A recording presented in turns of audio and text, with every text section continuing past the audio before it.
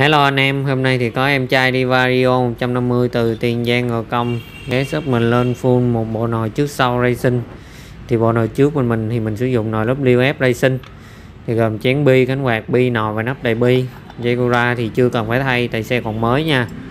Rồi à, bộ nồi sau thì gồm có uh, cùm ba càng, lò xo ba càng, chuông, lò xo lớn.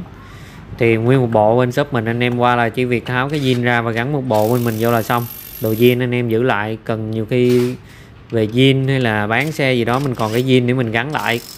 Rồi bây giờ mình ráp nồi trước nồi sau vô rồi xong rồi mình canh chỉnh cho anh em bao anh em là hết rung ra đầu.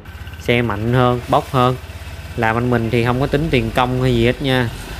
Rồi canh chỉnh thì miễn phí chỉ có khi mà anh em thay thế gì đó thì mình mới tính tiền thôi. Còn canh chỉnh là miễn phí hết. Rồi bây giờ mình kéo không tải.